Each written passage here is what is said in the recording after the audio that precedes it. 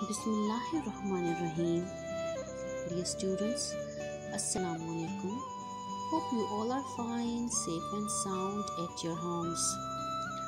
Today date is 25th August 2020 and the day is Tuesday. Our today's word of the day is squall. Part of speech is now pronunciation is squall, meaning a sudden violent wind, often with snow or rain. Sentence Yesterday's squall damaged many houses.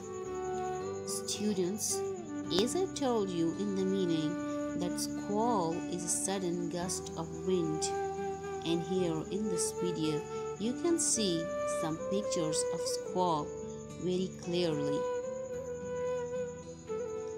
Hope the word is understood now. Thank you so much.